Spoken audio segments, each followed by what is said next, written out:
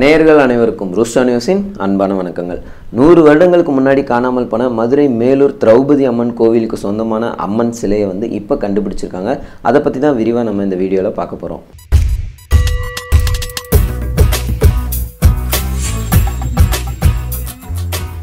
மதுரை மாவட்டம் மேலூரில் ஐநூறு வருடங்களுக்கும் பழமையான திரௌபதி அம்மன் கோயில் ஒன்று இருக்குது அந்த கோவிலில் நூறு வருடங்களுக்கு முன்னாடி நாராயணன் அப்படின்ற ஒரு நபர் தான் பூசாரியாக இருந்திருக்காரு.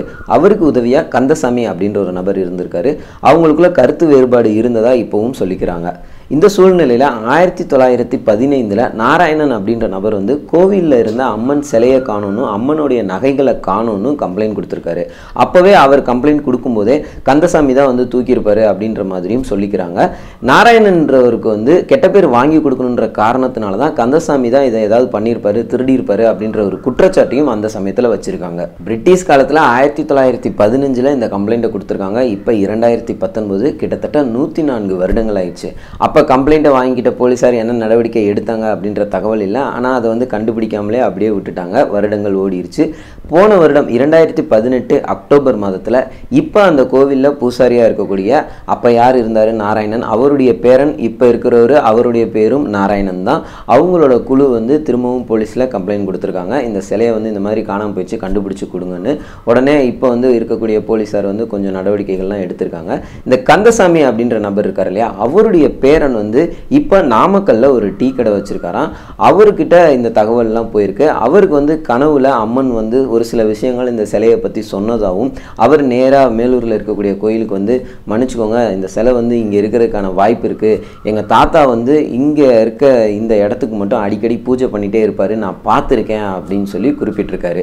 இதை அடிப்படையாக வச்சுக்கிட்டு கோவில் நிர்வாகத்தினர் வந்து இந்த போலீஸ்க்கும் தகவல் கொடுத்துருக்காங்க. அது மட்டும் இல்லாமல் சிலை கடத்தல் தடுப்பு பிரிவு ஐஜியாக இருக்கக்கூடிய பொன் மாணிக்கவேல் அவர்கள்கிட்டையும் இந்த தகவலை கொண்டு போயிருக்காங்க. அவருடைய உத்தரவின் பேரில் சிலை தடுப்பு பிரிவு அதிகாரிகள் வந்து அடுத்தடுத்த நடவடிக்கைகளை எடுத்திருக்காங்க. கந்தசாமி அவர்களுடைய பேரன் முருகேசன் அவர் தான் இந்த தகவல்லாம் கொடுத்துருக்காரு. தங்களோட பழைய வீட்டில் தான் அவர் ஒரு இடத்த குறிப்பிட்டு அந்த மாதிரி சொல்லியிருக்காரு. அந்த வீடு அவங்க கிட்ட இருந்து இரண்டு பேர்கிட்ட கைமாறி மச்சக்காலை அப்படின்ற ஒரு நபர்கிட்ட தான் தற்சமயம் இருந்திருக்கு. போலீஸாரோட உதவியோட அவர்கிட்டையும் பெர்மிஷன் வாங்கிட்டு இவர் இவர் குறிப்பிட்டு சொன்ன அந்த இடத்துல வந்து போலீஸார் தோண்டி எடுத்திருக்காங்க. அப்போ அந்த செவரை உடைக்கும் போது உள்ள திரௌபதி அம்மன் சிலை இருந்திருக்கு. இந்த சிலை வந்து கிட்டத்தட்ட எழுநூறு வருடங்கள் பழமையானதுன்னு சிலை கடத்தல் தடுப்பு பிரிவை சேர்ந்த போலீஸார் வந்து குறிப்பிட்டிருக்காங்க.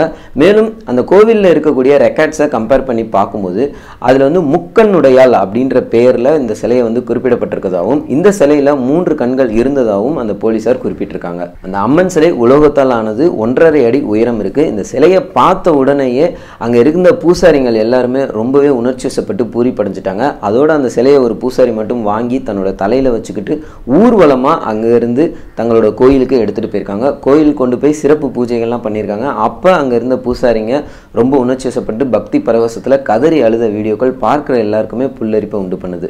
ஒரு சில மீடியாக்களில் அந்த சிலையினுடைய உயரம் இரண்டரை அடி அப்படின்றத குறிப்பிட்டிருக்காங்க. ஆனால் அந்த சிலையினுடைய உயரம் ஒன்றரை அடி மட்டும்தான். மேலும் போலீஸார் தொடர்ந்து நகைகள் எங்கேயும் கிடைக்குமா அப்படின்றத தேடிட்டு இருக்காங்க. ஏன்னா இப்போ சிலை மட்டும்தான் கிடச்சிருக்கு. அப்போ நூறு வருடங்களுக்கு முன்னாடி தொலைஞ்சு போனப்போ நகையும் சேர்ந்து தான் காணாமல் போயிருக்கதா கம்ப்ளைண்ட் கொடுத்துருக்காங்க இல்லையா? அதனால இப்போ நகைகள் கிடைக்க வாய்ப்பு இருக்கா அப்படின்றத தொடர்ந்து விசாரிச்சுட்டு இருக்காங்க. இவ்வளோ வருடங்கள் கழித்து ஒரு செவருக்கு பின்னாடி இருந்து இந்த சிலை கிடச்சிருக்குது. அந்த பகுதியில் ரொம்பவே ஆச்சரியத்தை உண்டு பண்ணியிருக்கு.